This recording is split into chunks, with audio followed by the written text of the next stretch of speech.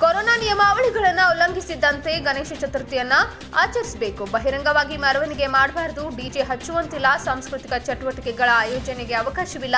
ವಿದ್ಯುತ್ ಇಲಾಖೆ ಪರವಾನಗಿ, ಪುರಸಭೆಯ ಅಧಿಕಾರಿಗಳ ಪರವಾನಗಿ ಆರಕ್ಷಕ ಠಾಣಾಧಿಕಾರಿಗಳ ಪರವಾನಗಿ, ಪ್ರತಿಷ್ಠಾಪನೆ ಮಾಡುವ ಜಾಗದ ಮಾಲಕರ ಒಪ್ಪಿಗೆ ಪತ್ರ ಪಡೆಯಬೇಕು. ಹಾಗೂ ನಾಲ್ಕು ಅಡಿಗಿಂತ ಹೆಚ್ಚು ಎತ್ತರದ ಗಣೇಶ ಮೂರ್ತಿಯನ್ನು ಪ್ರತಿಷ್ಠಾಪಿಸುವಂತಿಲ್ಲ.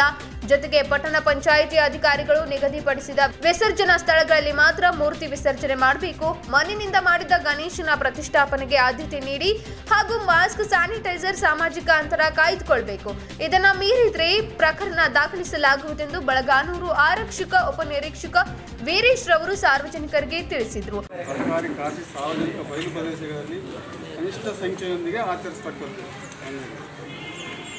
ಈ ರೀತಿ ಸಾರ್ವಜನಿಕ ಸ್ಥಳದಲ್ಲಿ ಗಣೇಶ ಮೂರ್ತಿಯನ್ನು ಪ್ರತಿಷ್ಠಾಪಿಸುವುದು ಗಣೇಶ ಮೂರ್ತಿಯನ್ನು ನಾಲ್ಕಡಿ ಎತ್ತರ ಮೀರದಂತೆ ಸಾರ್ವಜನಿಕ ಸ್ಥಳದಾಗ ಕೂತ್ಕೊಂಡು ನಾಲ್ಕು ಅಡಿಗಿಂತ ಎತ್ತರ ಇರಬಾರ್ದಂತೆ.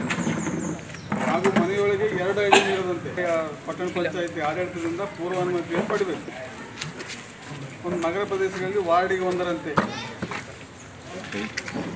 ಸಾರ್ವಜನಿಕ ಮಾತ್ರ ಕನಿಷ್ಠ ಐದು ದಿನಗಳಲ್ಲಿ ಇಪ್ಪತ್ತು ಜನಕ್ಕೆ ಸೀಮಿತವಾದ ಆವರಣವನ್ನು ನಿರ್ಮಿಸುವ.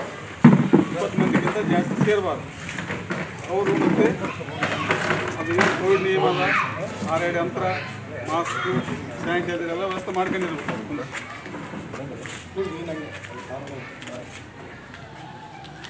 ಗಣೇಶ ಆಚರಣೆ ಆದ ಸ್ಥಳ, ಸ್ಥಳೀಯ ಮಟ್ಟದಲ್ಲಿ ಆಯೋಜಕರು, ಅಂತಂದ್ರೆ ಅವ್ರ ಮಂಡಳ ಕಮಿಟಿ ಇರ್ತಾರಲ್ಲ, ಲಸಿಕೆ ಕಾರ್ಯಕ್ರಮವನ್ನು ಹಮ್ಮಿಕೊಳ್ಬೋದು ಯಾರ್ಯಾರು ಕೋವಿಡ್ ಇದು ಹಾಕ್ಕೊಂಡಿಲ್ಲ ಅಂಥವ್ರಲ್ಲಿ ಏನು ಗಣೇಶ ಪೂಜೆ ಇದೆ ಅಂತ ಬರ್ತಾರಲ್ಲ ಅಂಥವ್ರು ಟೆಸ್ಟ್ ಮಾಡಿ ಇಂಜೆಕ್ಷನ್ ಮಾಡಿಸ್ಬೋದಂತೆ.